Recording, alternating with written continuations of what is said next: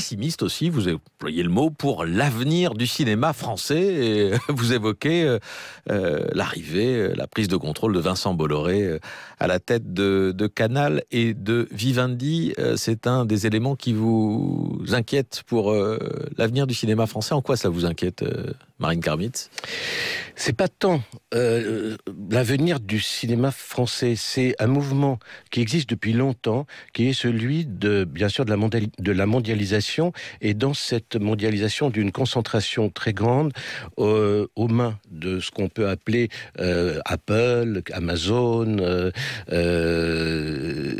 bref, les, fournisseurs d'accès, Internet, euh, d'un ensemble euh, de, de, moyens économiques euh, qu'on ne détenait pas auparavant et qui amènent à euh, mettre euh, comment dire la, la, la création dans sous un chapeau, de la, mettre, la mettre en, directive.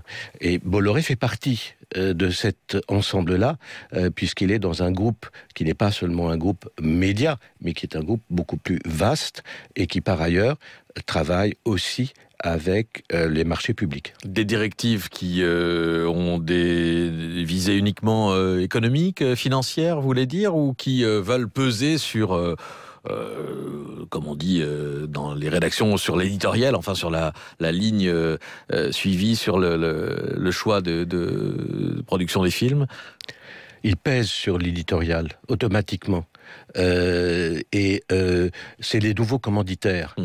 Euh, auparavant, on avait des commanditaires qui, à un moment, étaient simplement des, des bourgeois riches.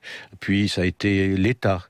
Et là, maintenant, ce sont des groupes mondiaux qui ont des ambitions mondiales et donc d'un contenu mondialisé, pas universel, mondialisé.